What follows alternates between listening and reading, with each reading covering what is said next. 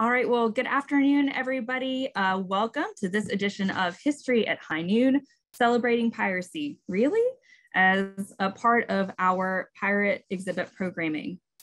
My name is Stacy and I handle adult education here at the North Carolina Museum of History. And we're so glad that you're joining us for today's lunchtime lecture program. Uh, if you enjoyed today's program, we invite you to head over to the museum's website at ncmuseumofhistory.org, where you can learn more about our upcoming programs, exhibits, and digital resources. Uh, this is also where you can find more information about shopping in our wonderful museum shop and joining our North Carolina Museum of History Associates. Our associates and foundation provide crucial funding and support to the museum, which in addition to many other things, helps make programming like today's program possible. As a special part of today's program, you can purchase your own copy of Dr. Ewen's book with a book plate signed by Dr. Ewen by either coming into the museum or visiting the museum shop website at ncmuseumofhistoryshop.com. We would also like to thank those of you who graciously donated funds towards today's program. Uh, we do keep our do our best to keep our programs free to attend, but there are costs associated with keeping our series going, and we just continue to be so humbled by your generous support of the museum. A few quick housekeeping tips for today. We ask that you please make sure to keep your mics muted throughout the entirety of the program and to please type any questions that you have for our guest speaker into the chat function located at the bottom center of your screen. At the end of the lecture, I will ask our speaker as many of your questions as time allows. So it's my honor to introduce today's speaker, Dr. Dr. Charlie Ewen, professor within the Department of Anthropology and director of Phelps Archaeology Laboratory for East Carolina University. Dr. Ewen received his PhD at the University of Florida in 1987.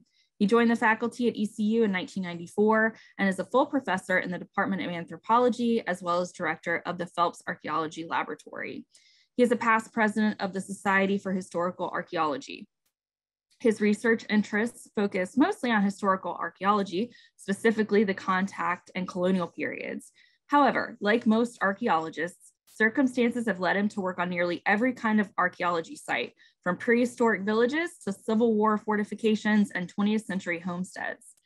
While in North Carolina, Charlie has directed over two decades of projects such at such places as Tryon Palace Historic Sites and Gardens in New Bern, Fort Macon State Park, Hope Plantation, Historic Bath, Colonial Brunswick Town, as well as documenting African American cemeteries in Eastern North Carolina. Okay, Dr. Ewen, I'm going to turn the floor over to you. Welcome. Thanks for being with us today. All right. Thank you. Uh, thank you, Stacy. And I, I, noticed one uh, question that flashed across the screen when we started was that uh, how long is this going to take? And uh, I'll I'll have the talking thing done by uh, no later than a quarter to quarter to one, and uh, and and then I'll I'll save some time for for questions.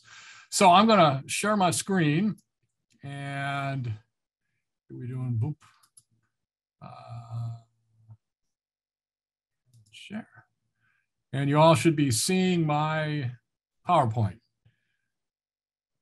Looks not, perfect. Okay, good.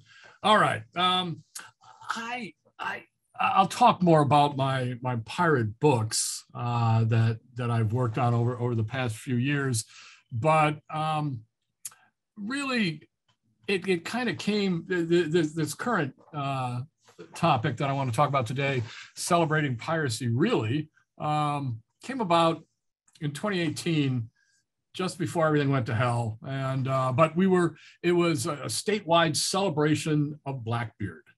And when I teach, I teach a class in Caribbean archaeology. I, I spend a, a, week or so on the golden age of piracy, it was called, and and we seem to have kind of a um, a, a, softened look at what what piracy is really all about. This was a T-shirt we made uh, for the Blackbeard 300 celebration, um, celebrating it, the, the, the 300th anniversary of his death from 1718 to, to 2018. And the state had all kinds of, of things set up, but let's let's kind of get looking at our, our image of piracy before before I, I, delve too much into to the archaeology part. First of all, everybody, when you mention pirates, everybody knows has has an image. Uh, we've loved pirates for well over 100 years.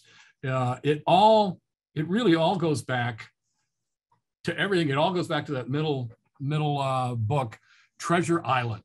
I mean, that's where we get the the the, the hooks, the peg legs, um, the skull and crossbones, all that kind of stuff.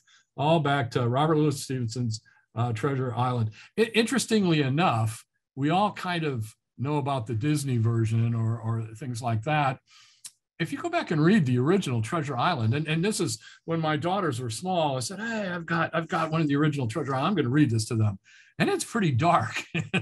I had to switch over to the to the Disney version uh, uh, pretty quickly, uh, but it's worth going back to read. It's uh, it, it, it everything is derivative, uh, including Peter Pan. There are that was uh, in 1902. It first appeared as a series in a magazine, but there were people from Treasure Island that appeared in Peter Pan. Then, of course, there's uh, my very favorite pirate movie, Captain Blood, with uh, Errol Flynn down in the left-hand corner there. Um, and then everybody else's favorite pirate is uh, Captain Jack Sparrow, uh, until that awful fourth version of it, where that truly jumped the shark on that. But it all goes back to the talking like a Devonshire pirate. Uh, it all goes back, and and no matter what I've learned since then, when somebody asks me about pirates, that's the image that that comes to to all our minds. Um, in fact, uh, uh, September oh, 19th, I think. Uh, yes, September 19th is National Talk Like a Pirate Day. And if I'm teaching class that day, I try and talk like a pirate and R and it's exhausting, uh, especially if it's a long lecture. Um, but I and I can remember I was in my office on a September 19th, and the the phone rings, and I pick it up and go, "R, this be Charlie Ewen. Speak your piece or walk the plank." And it was a lawyer talking about something on a on a site that we've been working on. They're a humorless bunch, and uh, so I, I try and be a little more careful now. But I mean, what all this is to say that you know, we've really softened our imagery of piracy. Uh, they've become our, uh, our, our mascots. I was interested in pirates before I came to East Carolina. Um, and it was just sort of happenstance that it all worked out this way. But yeah, uh, the Petey the pirate that you see here is is our mascot, and uh, he's fierce, but not so fierce that it's terrible. Um, we'll talk more about mascots in a, in a moment. And, and I saw this on campus when I was walking to class one day, you know, Jesus loves pirates, even the nice ones. And I'm thinking, well, of course, Jesus loves everyone, but uh, I had to take a picture of that. Um, but then, uh, Halloween a few years ago, there was a party that went out of bounds. And you can see the picture. This is from a, a newscast and it, it, turned into a giant brawl. They were rocking buses back and forth, climbing utility poles. I mean, they had to call in police from everywhere to, to break it all up. And um, the chancellor, uh, Chancellor Ballard, came out on the news and he said, This is not how pirates behave. To which I thought, Are you kidding me? This is exactly how pirates behave. That's how much we've sort of lost our image of piracy. Well, I have a, an admission to make. Speaking of images of piracy, my um, love of pirates goes back to when I was five. I got this record album from my folks. William Bendix sings and tells famous pirate stories, and it's uh, it, it's where I get all my my pirate stories and songs from. Uh, I love that that uh, that album as a uh, as a kid. I found it again when I was in grad school. I was home for the holidays. I took it back, and I have to say, after having a few grogs, uh, it's it's just as great when you're an adult, uh, maybe even better. Uh, so uh, this is how my first book came about. Kind of a funny story in that I had a party in my house as a grad student. A, a couple of professors came over, and the Pirate album that came out it often did. And we all had some rollicking song fests and, and such. Well, later I went to a, uh, um, a conference after I had finished and graduated, and, and um, a uh, editor for University Press of Florida said, "Understand you like pirates," and I went, Yeah, how would you know? And it was because one of my former professors had told her about this party. And she said, I want a book on the archaeology of piracy. And well, we'll see more about that as we as we move along. Uh, so um, there's a lot about pirates that that aren't true. Also, um, the romance of buried treasure. Everybody wants to know about Blackbeard's treasure. Uh, they have been digging the hell out of Bath, North Carolina for well over uh, a century looking for his treasure. Um, they're really that's that's something that pirates never did. In fact, uh, if you watch The Curse of Oak Island, uh, initially what was supposed to be buried in uh, Oak Island in the money pit was Captain Kidd's treasure uh, that he that he had taken and he'd hidden. And Captain Kidd actually did bury treasure. He was the only pirate ever recorded to have buried treasure, but it was dug up and used against him at his trial. So there is no other, and he and it wasn't at Oak Island. It was it was in another place. Um, what's in Oak Island? I I teach a class called Aliens, Atlantis, and Archaeology, Pseudoscience, and Interpreting the Past, and there's nothing buried on Oak Island. I hate to be a spoil uh, a spoiler on that, but anyways, so but we all have this romance about pirates and and they were jolly rogues, a little bit scary, but not so scary that our kids are going to stay up at night. But what's the truth about piracy? Pirates were terrorists. They, they were terrorists, literally.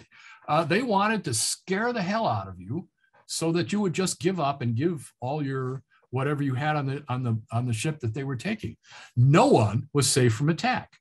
Um, during what's called the golden age of piracy from 1690 to 1720, or uh, you know, it, it kind of goes back the end of the 17th and the beginning of the 18th century.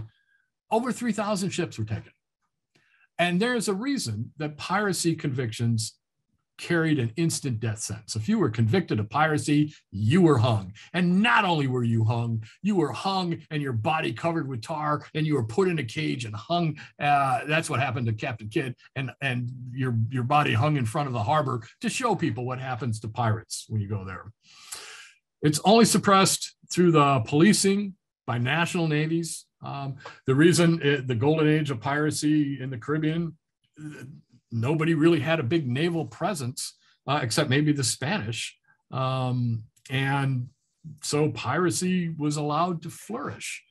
Where else do we see that? Well, I mean, in uh, around Somalia, the reason piracy flourishes there is because there are no national navies there controlling things. And I, I like this juxtaposition of, of pictures here because here you've got an attack on a galleon most pirates, you know, had, maybe had a mothership, and then they would sneak up, board the, the ship, and take it.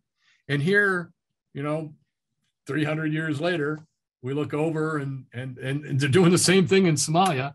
Uh, they come in small boats and they they take merchant vessels, and it's not until either the Navy cracks down on it or or some other authority that you get piracy um, really under control.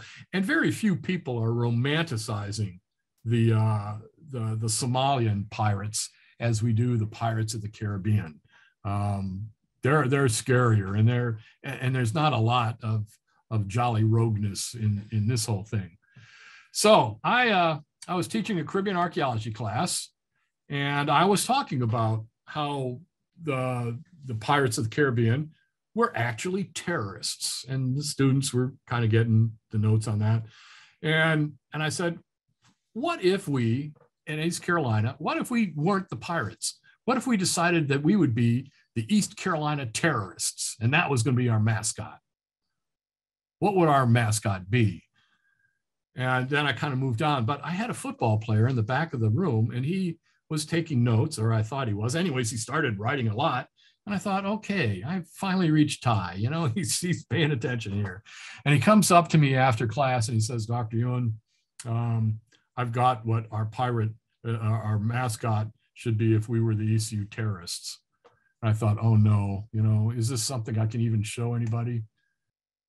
But yes, it is. so there, if we decide that we're going to go full, full realistic uh, with our, our piracy and be the ECU terrorists, perhaps that will be our mascot. But the point is, is that this celebration of piracy really is is kind of confusing if you if you think about it.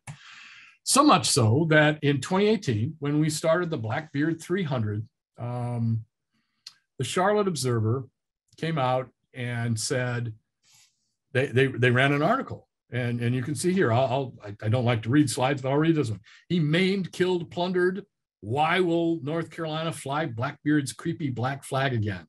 You're going, what? When, when did that happen? Well, it did happen. 2018, the ferry system actually flew the flag that's associated with Blackbeard. We're not we're not sure that he actually the uh, the the one with the the skeleton and the sword stabbing the heart is that really Blackbeard's flag? Maybe you know. Uh, probably not, but it's the one associated with him. And so the Ocracoke ferry and oh, the, I think the Bayview ferry and, and the other ferries in the east, they flew his flag along with the North Carolina flag and the U.S. flag and they're saying, why, why are we doing this? Uh, um, so, so how do we, how do we this? How, how do we celebrate them? And, and, how do we even recognize uh, uh, piracy?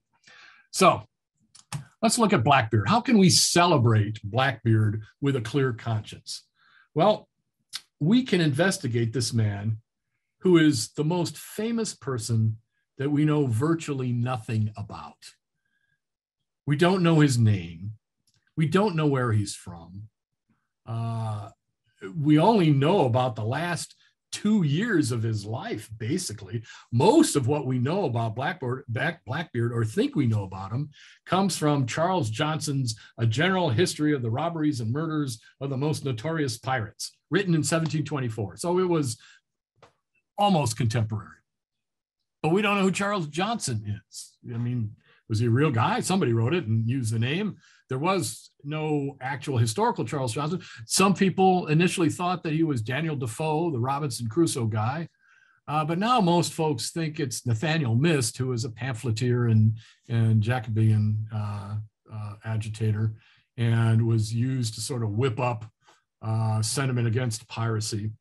Uh, so, so how much can we take uh, of what he says seriously?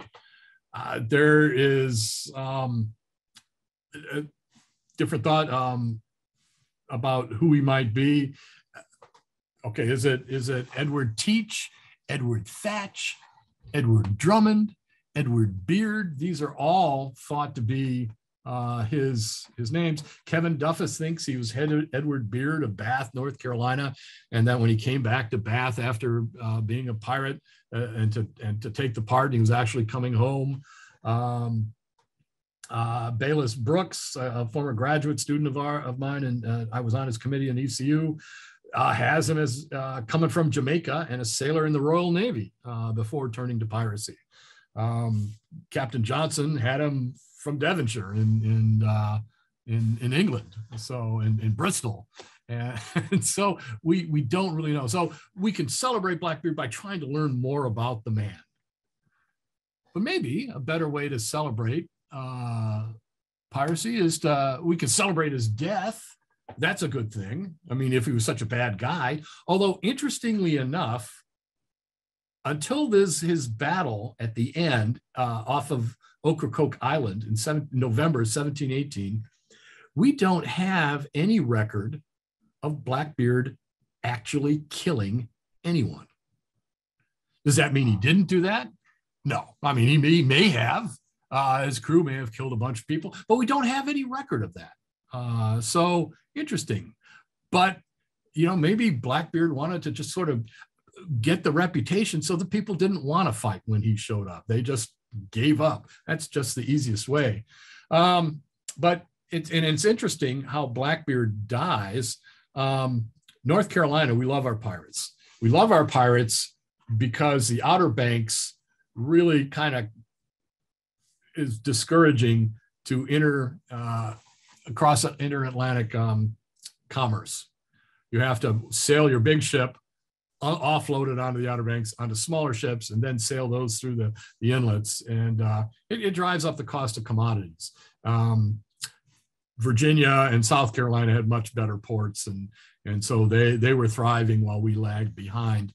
And um, so we liked pirates because they brought us materials and goods that we wanted at reasonable prices. And so it's not a, a big surprise that, that Blackbeard, even if he wasn't going home uh, to Bath, went there to, to get pardoned. And, and finally, it's actually Governor Spotswood of Virginia that gets tired of Blackbeard preying on, on his commerce and uh, prevails upon the British Navy to send Lieutenant Maynard to, to, um, to Ocracoke and, and where he confronts Blackbeard.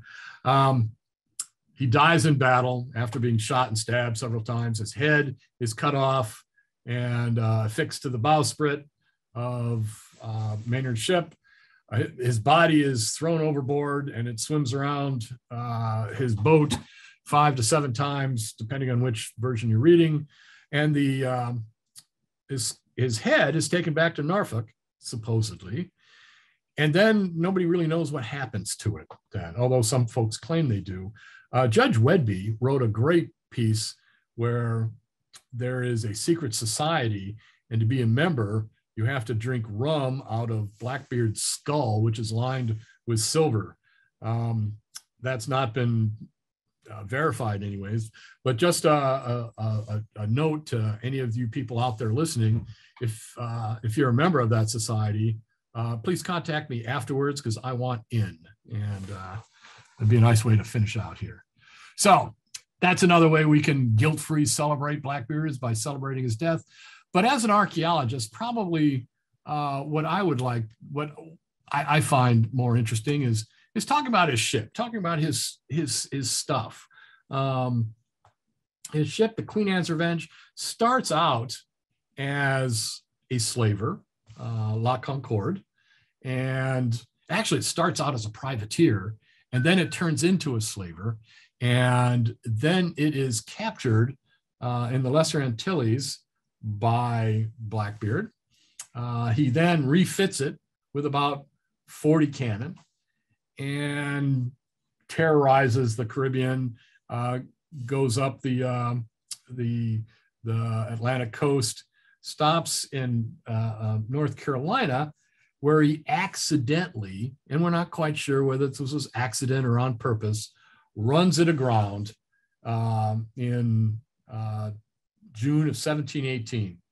And another ship comes to help him, the Adventure, and it, it also runs aground. So two ships are lost.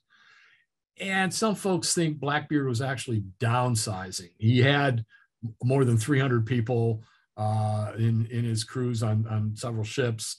And so he takes a ship and he heads back to Bath where he, he gets pardoned. Uh, he doesn't stay pardoned long. He, he then goes out pirating some more and is eventually, you know, caught off of Ocracoke and, and finished off. Um, interesting note about Bath. If we can put him there more than a couple weeks, uh, it's just Bath likes to claim that he had a house there and got married and had all sorts of kids. And, and uh, I, I just, just looking at what little documentation we have, he, he couldn't have been there very long. So, anyways, but we could talk about his ship. Uh, and if, how do we know that this was Blackbeard's ship? Uh, that, that gets to be quite the story for a bit. Um, so let's talk about the archaeology and about uh, the archaeology of the Queen Anne's Revenge. Um, it was found in 1996 by a treasure company, treasure hunting company called Intersal. And they were looking for another uh, Spanish treasure ship, El Salvador, um, but they come across uh, this wreck in Beaufort Inlet and figure out what it was and tell the state. And the state, and, and, they, they realize there's going to be no treasure on this. Uh, a, a ship that's run aground, a pirate ship that's run aground, basically anything of value the pirates were going to take off. It wasn't like it was sunk, it was run aground. And, and so it was most of the, the things of real value to the pirates were, were taken off, transferred to other ships. And, and then, uh, like I said, Bath or Blackbeard went to Bath. But there's quite a, a bit here. And um, the Intersal folks said they thought this was the Queen Anne's Revenge. And the, so the state stepped in and, and took over running uh, the project. And they, they've, they've essentially done almost all of the, uh, the serious excavation.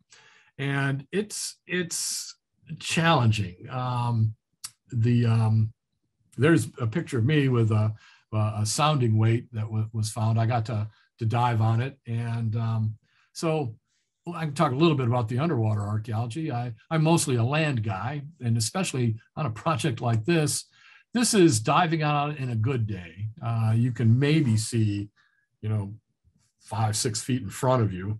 Uh, a, a, lot of the time, it's you're you're excavating by feel. I have nothing but admiration for my maritime colleagues to to work in that. I I like to see where I'm going and and not have to worry where my next breath is coming from, and not only you know working in those conditions, but then trying to get the uh, the artifacts to the surface.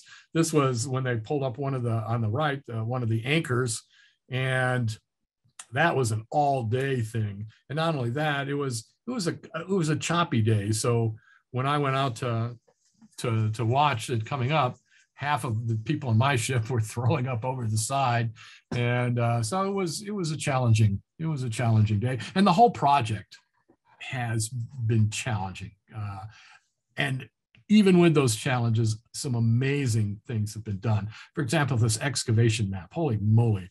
Um, and, and it's it's it's accurate. The, the the diving I did on it, everything seems to be where I knew where it would be when we dove on it.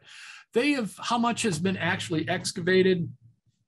Oh, not quite half. Uh, they and I I wish I had written down how many cannon there are. Uh, I think they've they've located over 30, but I don't. They haven't brought up that many. Um, perhaps you'll have Kim Kenyon, the uh, conservator, talk, and she knows exactly how many candidates have come up. But they came up, and, and the lab has moved around, but it's now on our West Research campus uh, at East Carolina University. And um, so that's where, where the analysis of, of what's been dug up. So the question became for a while after it came up, how, how do we know? How, would, how do we know this is Blackbeard's ship? And that's an important question. And, and it's one that really wasn't being asked by the press much until one of the archaeologists uh, in the maritime program at East Carolina University published an article saying, yeah, not so fast. We're not quite sure this is the Queen Anne's Revenge. And then, you know, the News Observer got wind of that and said, what? What the hell? And, and so it, that controversy actually sparked a lot more work that that I feel has has answered the, the, the, question. So how would we even recognize it? What what are we looking for? We're looking for it's got to be in the right place according to contemporary narratives, and it is. Um, the artifacts have to date no later than 1718. Anything beyond that means it can't be the Queen Anne's Revenge. So they all have to date to the right time period and, and most of it would be early 18th century, you know, maybe some stuff a little bit earlier than that. Uh, artifacts unique to the voyage, what would those even be? Well, remember, it was a, uh, it was a slave ship. Um, they um, uh, blockaded Charleston and part of the ransom for Charleston was a chest of medicine. So there are different things that that we can you know associate with with Blackbeard. Got to be a lot of cannon. Uh, he refitted the ship. Uh, so it's a large, heavily armed vessel. And quite frankly, during the early 18th century, big, heavily armed ships did not go to Beaufort. There was no reason for them to be there. And in fact, Blackbeard's ship was the largest, most heavily armed vessel to sail into Beaufort during the early 18th century. And we might want to compare the, the materials coming off of that with other pirate vessels. And there is another one. There is uh, Black, Sal- Black, Black Sam Bellamy's uh, ship Whydah, which sank off, sank off Cape Cod in 1717. So it's contemporary. It's a pirate ship. So, you know, maybe we can look at, at, at those assemblages. So we've been doing that. Um, since we uh, uh, have, have, since 1996 we've been working on the diving hasn't been a lot more diving in the last decade uh, but enough has been brought up to keep the conservators and uh, archaeologists uh, analyzing it for for years to come um, So look at some of the artifacts. They, they, they all seem to date to the right time. Pewter plates, uh, um, a lot of liquor bottles, uh, not to, and is this making it necessarily a pirate ship? No, all ships had, had, had such uh, wares on them. And, and, and they all had a lot of liquor uh, because water would go bad so quickly. Um, some, and these might be, you know, uh, if, if you want to, although all ships would have had shackles, there have been a, a number of shackles found. Were these from when it was the slave ship Concord? Uh, possibly. Uh, this urethral syringe, this is one of my favorite artifacts. Not that I would like to use such a device. So apparently, if you had syphilis, you would put um, mercury in this syringe and uh, apply the mercury to the affected part. Ugh, it sounded terrible, um, but we know that he he he got uh, that chest of medicine. Maybe some of his pirates were sick. Maybe this was on there before, but it's it's it's it's it, it's a nice thing that that perhaps it connects it with Charleston. Perhaps the shackle connects us to the uh, the um, the slave ship but, th- but there's really more to it. Um, there are uh, a number of artifact stories to, to look at. Um, there's the shackle. There's the uh, there's grenades. Uh, there was a lot of armament. I mean, this this ship was just packed with not only cannon but shot, uh, hand weapons, uh, grenades. Uh, there's the urethral syringe again. Great story of that. More uh, liquor. And then this, this was a really interesting, this, this piece of paper, and I won't go on too much about this, but it was found in the breech block, uh, which was how you would load a certain type of cannon in the back. It was used as wadding for the cannonball. And this just shows the folks out at the QAR lab just the amazing amount of research they do. So you're looking at that piece of paper on the left, and you can see, and to get it into that shape took them a long time, uh, many weeks, and to, to dry it out so you could still read some of it and not have it curl up and fall into nothing. And you see words like helo, and and so um, Kim and some of the the the researchers out at the QAR lab, they started doing research on books of that time. And after many months of research, the fragments were determined to be from a 1712 first edition of a book by Captain Edward Cooke, A Voyage to the South Sea and Round the World, performed in the years 1708, 1709, 1710, and 1711. Cooke's book was a voyage narrative describing his adventures on an expedition made by his ships, the uh, Duke and Duchess, which sailed from Bristol in 1708. The expedition leader, and this is where it gets interesting, uh, was Captain Woodes Rogers who also published an account of the expedition and who was later sent in 1718 as royal governor uh, to rid the Bahamas of pirates.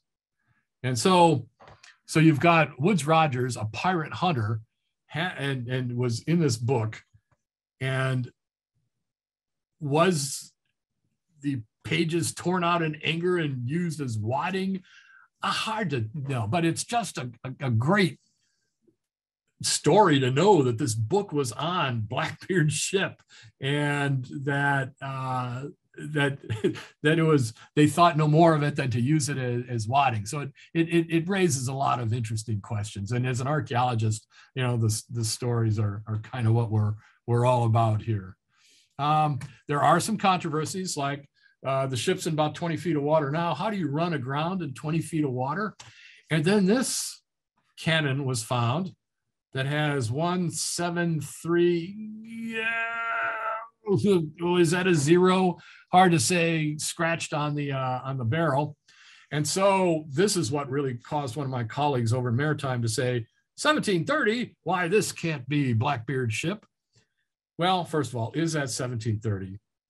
Ah, hard to say. Second, is it a date? If it's a date that was scratched onto the barrel, it's the only one we've ever seen where that kind of graffiti was put on. Usually, if there's a date on cannons, and sometimes they are, they're stamped on the trunnions. Um, but it's it's really thought more that maybe this is not a date, but uh, a, a weight in hundredweight. And cannons were sold by the pound. And you also wanted to evenly have them on, on both sides so that you distributed the weight. So maybe having it be uh, a weight rather than a date makes more sense. Um, if it is 1730, it's the only artifact directly associated with the wreck that that would date to that time period. So we're thinking it's not a date, but it was it was certainly something to, to re-examine. Also, how do you run aground in 20 feet of water? Well, looking, uh, talking with the marine geologists, they feel the inlet to uh, to Beaufort had moved around. Now it's where it is because it's where the Corps of Engineers say it should be, and it doesn't move anymore. Uh, we keep it dredged out, and the ship, which is off the channel, has been sitting there on on sand, and as hurricanes blow through, the sand underneath gets scoured out. The ship settles down and now it's on solid substrate, so it's not going any deeper. So when it ran aground, it probably was a lot shallower where it was. And the thing about it being on solid substrate is uh, it, it adds some urgency to, to the excavation in that the next few hurricanes are going to really, now that there's no sand to scour away, are going to actually start, you know, affecting the, the, uh, the, the wreck remains more than, than they have in the past. Um, some other good things that have come out of this uh, is that East Carolina and, and the state, we, we now have the, the lab that, well, like I said, had moved around for a few years. It is now permanently ensconced on our West Research Campus. I send my grad students over there. We've had a couple of theses come out of there. I've got an intern over there right now.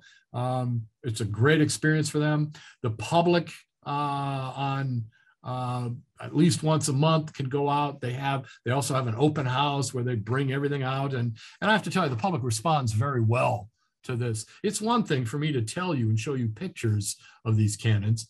It's another thing to stand there and put your hand on a cannon that Blackbeard may also have put his hand on. Um, and it just it's it's a tangible link to the past and kind of brings the whole immediacy.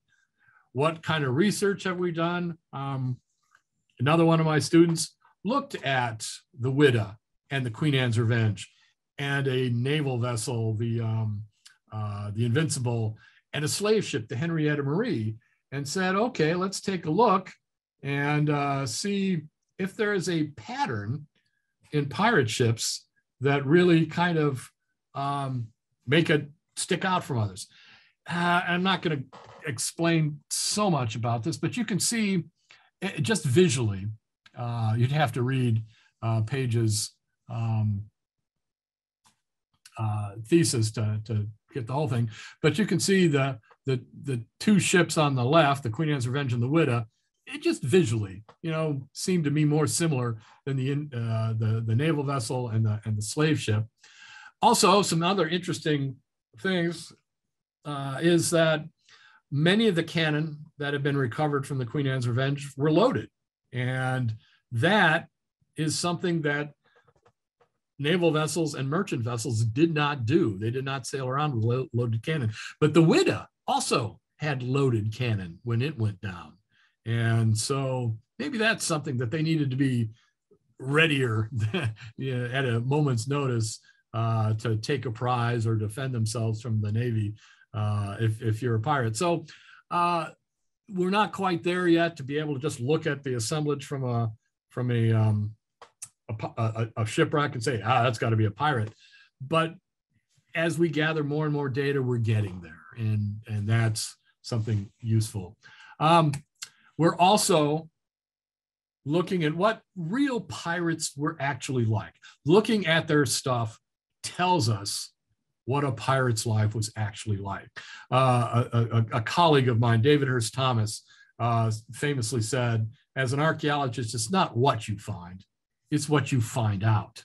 And that's really uh, the, the mark of a good archaeologist is to really get the ideal of what a real pirate is from the material as to what our stereotypes are from the past.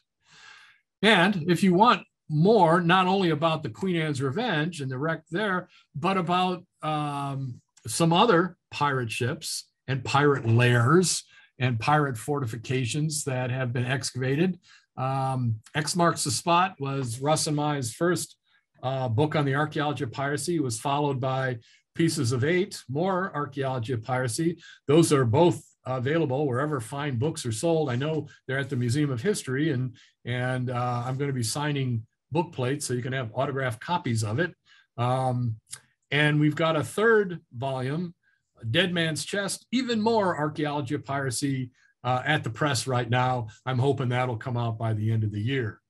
And uh, so that's, I think, I think where I'm going to end this. It seems like a good stopping place. Uh, thank you uh, for your, we got almost 200 people on there. Uh, thank you for your, um, your, your joining us and listening to me. And I'll be happy to, to entertain any questions at this time. Thank you so much, Dr. Ewen. We have a bunch of questions, you guys, so we're going to get through as many as we can before we hit that 1 p.m. mark. Should I um, stop sharing my screen or? Sure, that'd be fine. There we go. Um, All right. So our first question is from Lori, and they ask, "How old was Blackbeard as at his death? Do we have any idea?"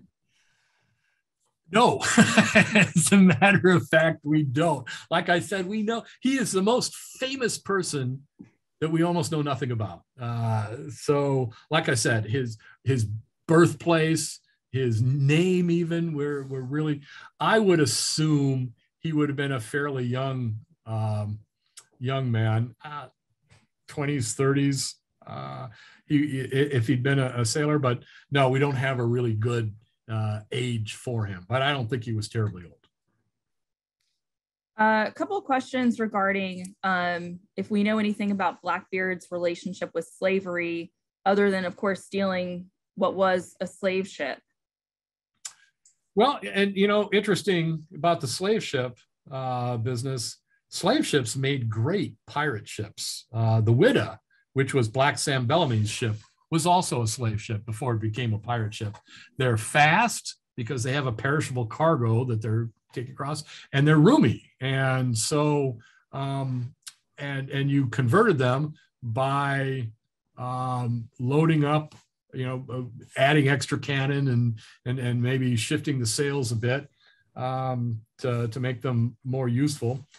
And um, so, as far as his relationship with slavery, he had um, at least one African American uh, black Caesar on his his crew um, we're not quite sure of, of, of, others. And I'm not even quite sure what happens to the slaves of the, the QAR. Did he, I, I, it, some were released. I, I, it, I don't think he sold them. Um, which is odd. I mean, if you're a sailor, if you were a pirate, you, you'd want to recover your losses, but then you'd have to go sell them and then expose yourself to capture. So, was he anti-slavery? Uh, I, I, I don't think we can say. Um, um, Melody asks, can we say with any certainty that Blackbeard lived in Bath, even briefly? Um, any idea about, if you can give us an idea about pirate ships moored or sat in North Carolina ports or offshore, just trying to get a sense of how obvious or discreet their presence was to the residents of coastal North Carolina? Excellent question. And the excellent answer is it depends. Um, how long was, like I said, he, he certainly was in Bath for a bit. We have some record of him being there. He went and, and was pardoned in Bath. Um, did Governor Eden preside over his his his wedding? I don't I don't really know. Um, uh, I a, a lot of his North Carolina time is is lore more than actual documentation. But we do we do have documentation that not only was he uh, pardoned here, but uh, he, he also after he was killed off of Ocracoke, the pirates were brought back to Bath before shipping them up to, to Norfolk for trial. Um, like I said, it, it, it, seems like maybe a few weeks uh, he might have been here while after he'd taken the pardon. Um, it, it, it's really hard to say how long.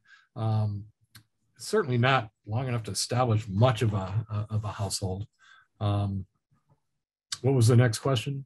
Uh, I think just um, kind of trying to determine. Oh, oh, other pirates, and well, here, piracy for most of the North Carolina pirates wasn't a full time job. Uh, it's if you were a burglar, I mean, are you a burglar all the time, or are you working at a at a convenience store and then, oh my goodness, I'm going to rob this guy? Uh, a, a lot of piracy uh, sometimes as happenstance. You had in the Caribbean, you had logwood cutters. They were cutting wood to use for dye, but then ships would come by and they'd say, "Oh hell, we're going to rob these guys," and they would go out because it was easier money to do. Um, in North Carolina, you had had some folks that just uh, went bad and would steal things, uh, but for the most part, they, it wasn't a long term job type of thing. They were they were often caught. They weren't terribly clever and uh, uh, um, uh, oh, who was it? Stede Bonnet, one of our more famous our, uh, pirates. He's got to be the, the biggest idiot pirate that was. And my apologies to the to the folks down in Wilmington who love him. But I mean, he was apparently he was a, a plantation owner who who just wanted a more adventurous life. So he bought a ship to be a pirate. I mean, what pirate, self-respecting pirate, buys a ship? You steal a ship. That's how you do it. Um, and then he becomes basically Blackbeard's. Blackbeard was telling him what to do, taking a ship, putting it back, and and eventually he strands uh, Bonnet, who then is captured and hung. And uh, so that, that ended his stuff. It, it, I would say there isn't really this is what pirates' lives were all like. It's they were criminals, and some of them did well, and and but most of them did not. Um, uh, once again, I think it was uh, Black Sam Bellamy said a short life and a merry one. They were short, but I don't think they were as merry as we'd like to think. That makes sense. I yeah, because I guess most of us don't ever really think about um, the downtime when pirates weren't, you know, terrorizing folks. So that's well, an interesting I, way I, to think about it. I really think looking at the Somalian pirates as an analogy for the pirates of the Caribbean, uh, you know, and, and along the eastern U.S., I think that's going to be your best. You know, if you look at them and say, "Wow, I wish I was like that," uh, yikes! I think you need to re-examine your life choices. Our next question is from Marcia, and please forgive me, I'm going to try to pronounce this correctly. Um, is there enough wood left on the Queen and Revenge, Queen Anne's Revenge wreck to do dendrochronological testing? Dendrochronology, yes. Uh, um, now, they've done they've tried to do radiocarbon dating, but here's here's the deal with radiocarbon dating: the the closer to the present you get with organic material, the longer the confidence interval is and so you I, think it it ended up being, and I, I, don't quote me on this, but it ended up being like 1700 plus or minus 50 years, which wasn't terribly helpful. Um, the dendrochronology, I don't think the wood was in good enough. Well, maybe it was, but I know that all the the studying that they've done on the uh, the they, and they've got the stern post and that's where they would. I, I, don't. I don't think they've taken a dendro from that. I, like I said, I'm gonna. I'll have to ask him that. But everything they've seen, they know what the woods are, and um, it seems consistent with it being Concord, the uh, the slave ship that later gets turned into a pirate ship. So it all it tends to fit. Linda asks, can you tell us a little bit about what the QAR lab actually is? Excellent. Uh, and it's, I mean, if you're here, I hope this spring we'll be able to have the open house again. Uh, it is on our, we have this research campus, which is west of the main campus. And it used to be the Voice of America site, and, and ECU acquired it. And it has a lot of wetlands around it, but there's a big building in the middle and there's agri-medicine and the QAR conservation lab. And in that lab, they have offices, um, they have a garage where they can pull in things to work on, but then they have this huge, big pole building uh, out back which is just filled with tanks of water where they're doing electrolytic reduction on cannons. They've got um, the wood samples in polyethylene glycol where they're trying to bulk them up so they can uh, preserve them. The cannons uh, go through the process and then they come out and there are most uh, all the stuff initially goes to the Maritime Museum in Beaufort. And then the stuff that's not on display there, and they have a fabulous exhibit there. Uh, I, I, can really recommend Beaufort's a nice town, anyways, but go to the Maritime Museum and see the, the QAR exhibit. It's great. And, and some of the other material has gone to the Museum of History and to, to other places as well. Uh, Jim asks, does all of your research focus on the Caribbean pirates or have you investigated Henry Every at all or piracy around the world? We have looked at piracy around the world. In fact, the cover of our um, um, Pieces of Eight is from a, a pirate ship of Richard Condent's, uh, the Fiery Dragon, off the coast of Madagascar.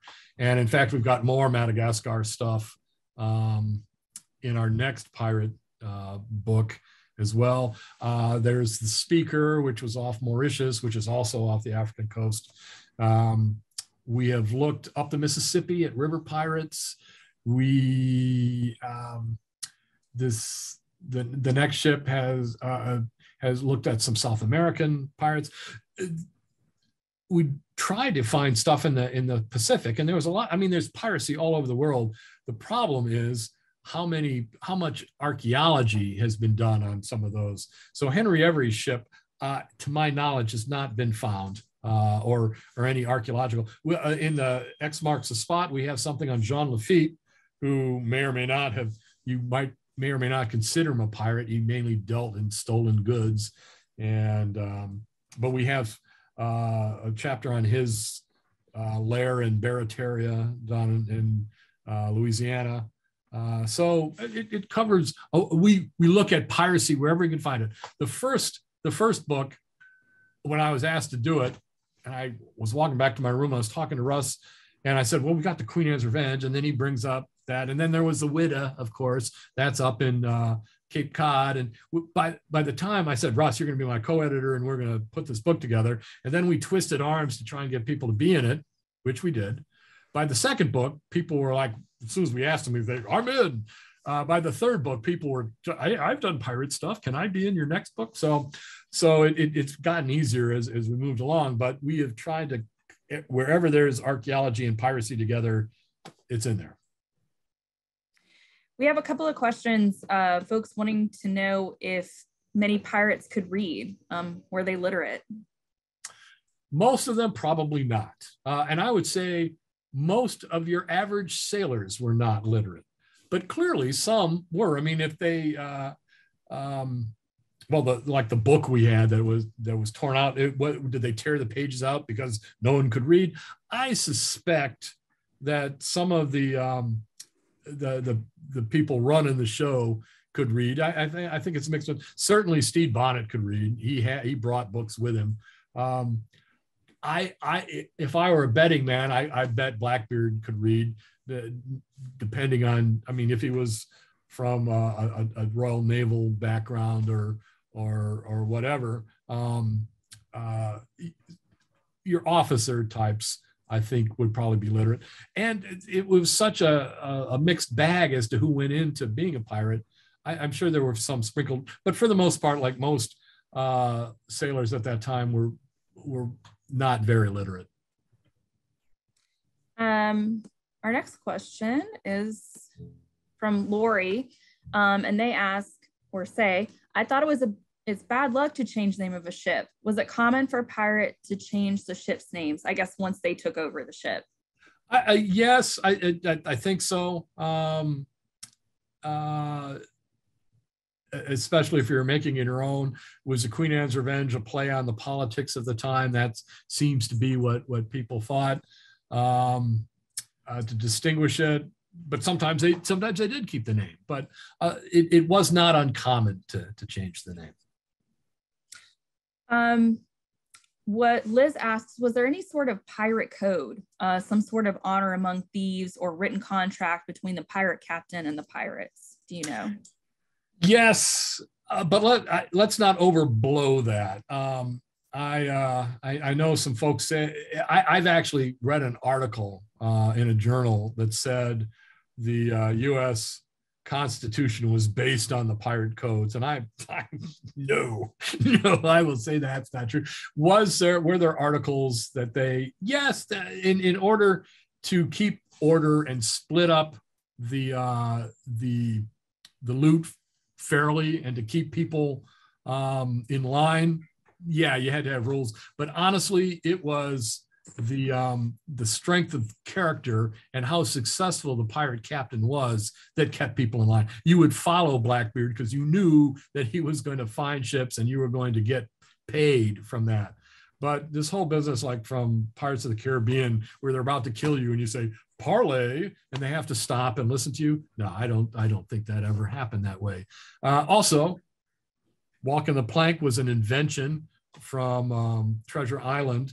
Keel hauling did happen, uh, but um, like I said, and the buried treasure thing, that's that's all all made up. But even though everybody I think knows that it was made up, they're still looking for pirate treasure. I tell you, the pirates sold it and drank it up as quickly as they stole it. So uh, they they did not retire wealthy. Uh, very few pirates, anyways. Henry Morgan maybe would be an exception to that. Uh, we've got time for one more question um, from Elizabeth. Based on what we do know about pirates, do you think that Blackbeard would have been happy to know that his identity is still unknown? Oh, ha! well, that's a good question because I can say whatever I think. Um, it depends. If if you're in the Duffus camp that says that he was actually Edward Beard from a decent family in Bath, um, then perhaps he would have thought it was just as well not to be, you know, Blackbeard, you know, the, the black sheep of the family. Um, I, I don't know. I think if you're going into piracy at that level, I don't think you care uh, that they don't know who you were. I, I, most of this we get from that uh, Captain Johnson book. And I think it was a lot of hype. I, I, really do. He was, yeah, he was bad and he was successful for a while. But I think um, playing into that hype uh, was was a way to be as successful so that you didn't have to fight. You didn't want to shoot your victim full of holes and, and sink their ship. It had stuff in it that you wanted to steal. So if you could sail up there and have this terrible reputation and have them just give up, that was that was what you wanted. Um, so, and like I said, did he actually kill anyone before the final battle? We don't have any record of it. I, he may have, but we, we can't say for sure. Dr. Ewen, thank you so much for taking time to share these incredible pieces of history with us today and for all of your hard work to uncover them and the stories behind these these artifacts. It's really incredible. Well, it's my pleasure. And uh, if anyone wants to get a hold of me about any other pirate stuff, uh, my email at East at East Carolina is is easy to find. Just go to to ecu.edu and type my name in there, and it'll give you all my information. Awesome. Thank you. And thank you guys so much for joining us today. Um, we hope that you will join us for our next History at High Noon program, Seabreeze, with Rebecca Taylor, manager of Federal Point History Center at Carolina Beach, happening on February 9th, 2022. In the meantime, stay well, and we will see you guys soon. Take care, everybody. Bye.